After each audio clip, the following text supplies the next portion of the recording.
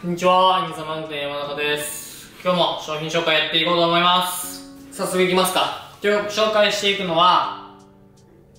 じゃん。キーノさんから出てる、ランタンシェードですね。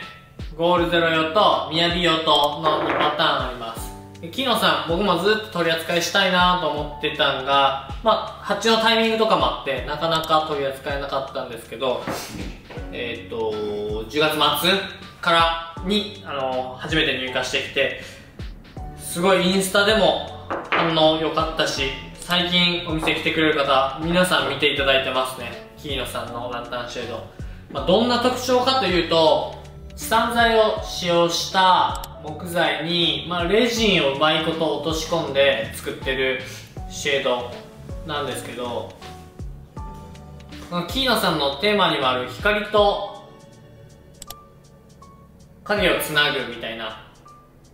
テーマがあるんですけど、まあ、そういうテーマにもこうすごい沿ったシェードが入荷してます。でタイプとしてはこういうワンオフシェードっていうもうもう木をまるまるっとなんて言ったんやろうな。こう輪切りにした木材の上にレジンを上手に入れてくれてるシェードとストライプシェードって言ってちょっとこうストライプなラインを入れてくれてるシェードの2種類があります、まあ、どれもやっぱこう木ってなかなかこう同じものってないのでみんな表情が違ってすごい素敵なシェードになってます。ちょっとじゃあライト灯してみますか。ちょっと電気消しますね。じゃあまずゴールゼロ用からいきますか。一応同じくキーノさんから出てるゴールゼロのゴールゼロカバーみたいなアンバーを装着してるやつにつけていきます。さっきじゃあストライプ柄からいきますか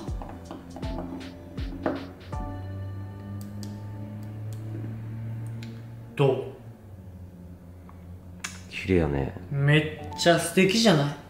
ゴールゼロってやっぱちょっとこう眩しさ感じるんですけどもう完全にこうライトのところをこれ下側がこうちょっとなんていうんやろ。下にこう出てるからその眩しさ感じるところを完璧に覆い包み込んでくれててレジンがこう光をすごく優しく透過してくれてるんで眩しさないけどやっぱこうぼんやり光ってくれてるこの感じがめちゃくちゃ僕は好みですね。でこれがストライプシェードでこっちがワンオフシェード。やっぱワンオフの方はやっぱもうここの木の輪郭も一点物なんでぜひ早めに来て選んでほしいぐらい綺麗な輪郭してますね。やっぱ素敵よね。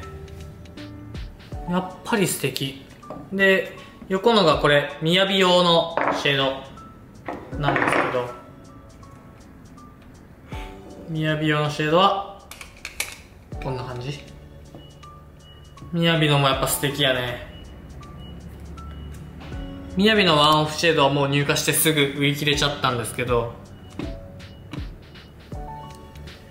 このやっぱこうぼんやりと明るいっていう表現がいいかわかんないけどこう直接光がこう眩しいって感じじゃなくてやっぱこうほんわかと光ってる感じがすごくこう癒してくれますよね。はいということで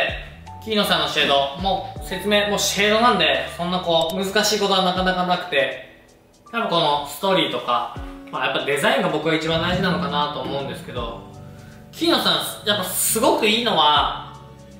こう普段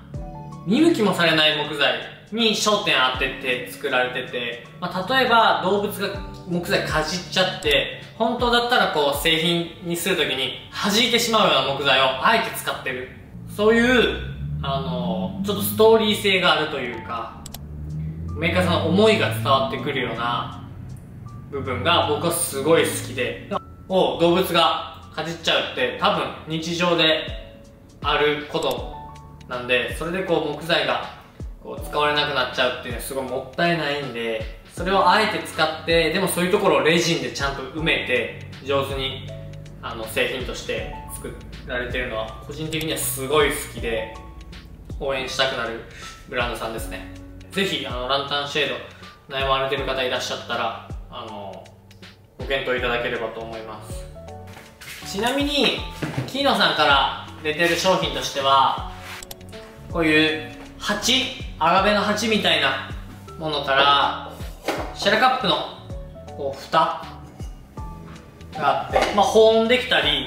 なんかこうホコリが入るのを防いだりしてくれる役割で、まあ、もちろんレジンとか使ってるんで、まあ、ライト入れたらちょっとこう素敵な感じにはなるんですけど、まあ、ライライト入れるような目的ではないんですけどね。でもなんかこうやっぱ味があってやっぱ使いたいなって思える商品が僕は好きなんでが入荷してきてます。8もアガベ入れるとしたらここんな感じですかね。映ってるかな。とかこれよりもうワンサイズ大きい鉢もあるんでシェラカップとか、まあ、こうこういうシェード以外の商品も良ければご検討ください。ちょっと今日は短いですけどキーノさんのランタンシェード。すごいストーリーもいいしデザインも美しいし可愛らしいデザインなんでよろしくお願いします。ありがとうございました。